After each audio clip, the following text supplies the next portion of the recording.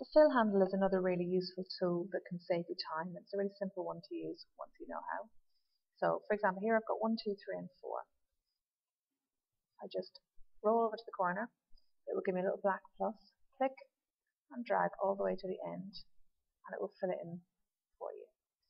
Um, it also knows, it can recognize patterns and it also knows other useful um, ideas. So this one, I've got the days of the week, and rather than having to type them all in, I've just typed the first three in, grab the corner, drag it down, and it will fill in for me.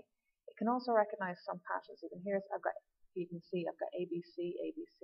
And if I wanted to follow that pattern down, grab the corner, and it will go ABC, ABC, and it will follow that pattern down for me. And it can do that with numbers as well for you. The next tutorial is on conditional formatting. Now this could be useful if you want to um, change some cells in your workbook. Maybe you want to look at people who've passed or failed. You want people who've passed to be green, failed to be in red. Just makes it easier to find certain information. So in this one, what the task is asking you to do is highlight all the cells which contain the number 7 and they want it to be in green with navy text. So I'm going to highlight it. And then you're going to go to conditional formatting which is on the home tab. You're going to say highlight cell rules and we're going to say equal to. So I want to highlight all the cells that are equal to the number 7. I want it to be green with navy text. I'm going to go to custom format. I'm going to go to fill. And I want it to be green. And then for the font, I want it to be a navy font. And I click OK. Click OK. And you'll see it's highlighting them for you. You can also select the same data again. And you can put a second rule in. Again. Now this time I'm not going to do equal to. This one, this time I want cells that are greater than. So I'm going to go conditional formatting, and I want to go to greater than. So if they're greater than 7,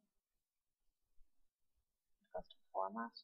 This time I'm going to fill it with navy, and I'm going to have my green font.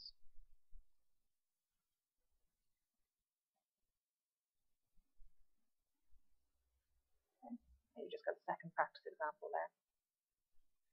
Another really useful tool is calculating the min, the max, and the average. So if you want to find the highest number, you put your equals in, tell it it's looking for a formula, and you can just use equals max, open your brackets, tell it what you want to find the maximum number in, what range, close your bracket, and press enter. This one you're trying to find the lowest number, so you're going to use equals min, you're going to open brackets. You can see it's not important whether type it in capitals or lowercase, it will accept it highlight all your data, close your bracket, and press enter. Average is another very useful one. That's going to be equals average. Open your brackets, highlight all the data, close your bracket, and you've got one more activity to do down there.